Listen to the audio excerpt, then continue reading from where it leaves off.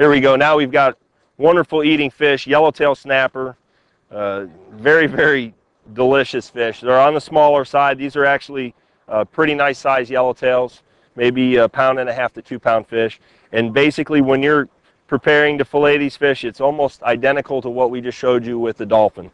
You're going to go in, you're going to start up here, right behind the head, make a little cut on the belly line, come around here and insert the knife here, go all the way along the backbone, all the way down towards the tail, and then cut right along that backbone like we showed you before. And you're going to cut all that out, and that's going to be the finished product. Very, very good.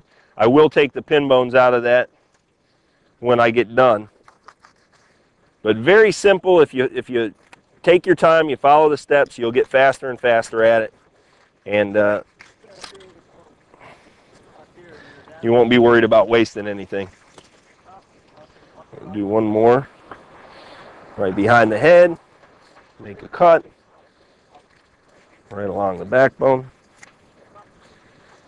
And one thing to note, it's very, very important when you're when you're filleting fish is that you have a, a good sharp knife. That's the, the, the worst thing in the world is to try to fillet fish with a dull knife. That's where accidents occur. You end up slipping, you cut yourself very bad.